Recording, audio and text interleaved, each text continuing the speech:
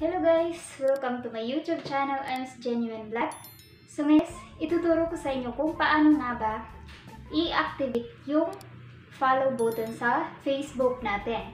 So samahan nyo ako hanggang sa matapos ang video na ito. So tara!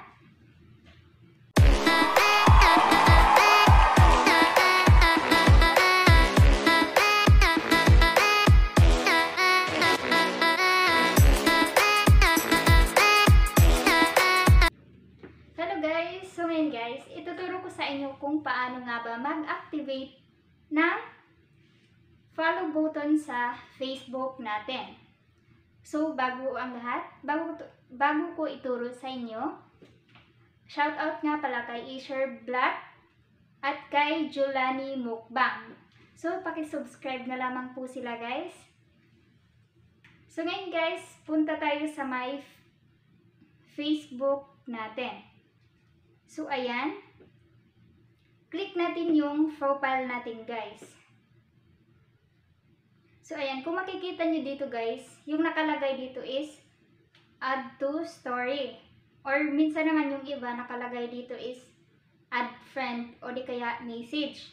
So, ang gagawin natin, guys, ay papalitan natin siya ng follow button. Ano nga bang purpose ng follow button? So, ang purpose ng follow button, guys, kung gusto nyo mag-upload ng mga reels, kapag nakita ng mga viewers nyo yung videos, ipa-follow ka nila once na nagustuhan nila yung mga reels mo. So, ayan. Ang gagawin natin dito is, papalitan natin siya ng follow button. So, punta tayo sa my settings, guys. Settings. So, ayan. Click nyo itong settings and privacy.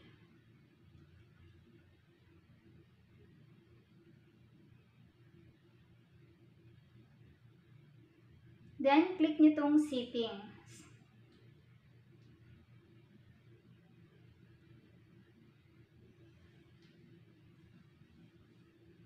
So, dito guys, click nyo itong followers and content. Public content. So, ang nakalagay dito guys, kung makikita nyo, naka-friend siya lahat. Friends of friends or friends. So, ang gagawin natin dyan is papalitan natin siya ng public. So, click nyo lang to guys.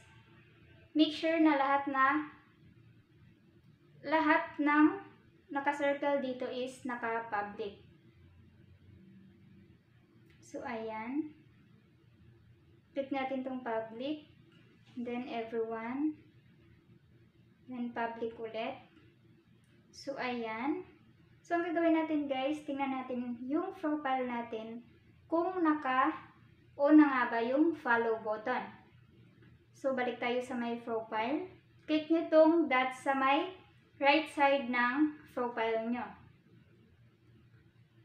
So, click nyo tong view as. So, ayan guys, naka-follow button na siya.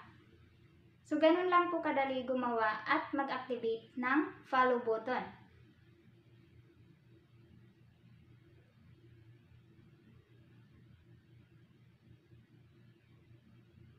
So, ayun guys. Kung nagustuhan nyo ang video na ito, huwag nyong kalimutang mag-subscribe at i-hit ang notification bell para lagi kayong updated sa susunod na video na i-upload ko.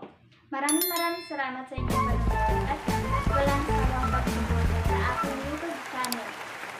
At sa mga gusto pong magpa-members, click nyo lang po ang join button at magpa-members para maging priority ko kayo once na mag-avail kayo ng membership natin. So maraming maraming salamat sa panonood guys. Tadam!